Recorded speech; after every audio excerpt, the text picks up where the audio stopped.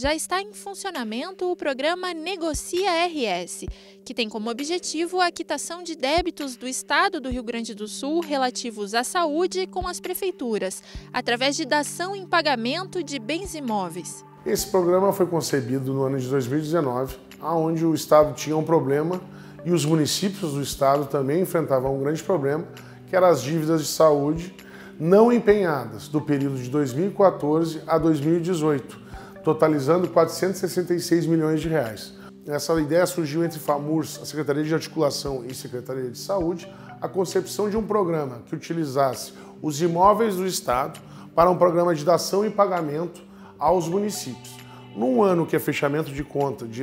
exercício dos, dos municípios e dos prefeitos, esse, esse imóvel vai entrar ao município como um ativo, então ele vai colocar como um ativo no, na sua contabilidade, então vai ajudá-lo no fechamento de contas, além de adquirir um bem, e o Estado também vai retirar um passivo, que é um compromisso deste governo em fazer o um encontro de contas e zerar as contas, as dívidas em relação à saúde. Os municípios interessados podem aderir ao programa de forma individual ou coletiva. Porque muitas vezes os imóveis podem ser de maior valor e municípios como consórcios municipais, convênio entre dois ou mais municípios, associação de municípios, a forma jurídica que os municípios escolherem de forma coletiva, o Estado vai aceitar. Para aderir ao programa, as prefeituras devem apresentar na Secretaria de Articulação e Apoio aos Municípios toda a documentação necessária